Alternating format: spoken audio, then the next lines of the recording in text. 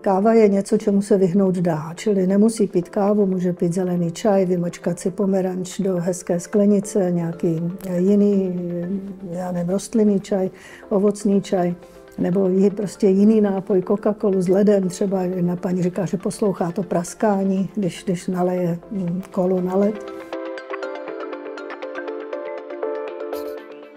Někdo řekne, ale já tu kávu potřebuju, protože mám nízký tlak, tak um, si ji dám do jiného hrnečku, ten nemá počálek, tak to nemám kam klepat, nebo vypiju to ve stoje, kdybych si sedla, tak bych kouřila, nebo přerovnala jsem nábytek, takže teď to piju u jiného stolu, tam mi to nepřijde, nebo vy, nechám vystydnout, vypiju na ex, nebo dělám si turka místo kapané, cukr, mlíko přestane, začne. Nebo tuhle říkala jedna paní, nosím si to kafe do koupelny, sednu si na vanu a tam, tam si to vypiju. Tam jsem nikdy nepila kafe ani nekouřila, tak tam mi to nepřijde.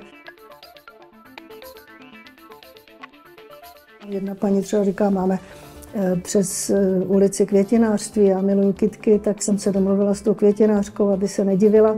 A tak dvakrát, třikrát denně přejdu ulici, kochám se pět minut s kytkama, zase jdu zpátky, nebo obejdu blok, nebo jdu na terasu, nebo já nevím.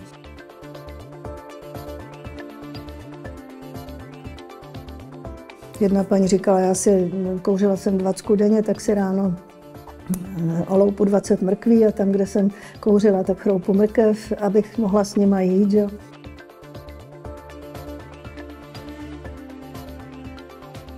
Jedna naše pacientka měla, má ten nápad, že si založila účet, myslím na Instagramu, eh, jmenuje se to Nekouřím, fotím a vždycky, když má chuť zapálit, tak udělá fotku a dá to na ten Instagram. Nebo jeden pan fotí eh, každé ráno, když chodil kouřit na balkon, tak tam udělá fotku eh, a přes den si to rovná má tam už asi za půl roku, jak, jak probíhá to ráno eh, z toho balkónu a má tam takový seriál nebo, nebo filmeček.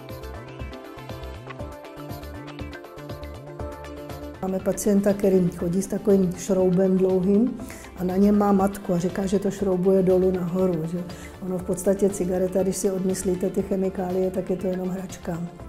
Takže jde o to zaměstnat ruce, oči a prostě smysly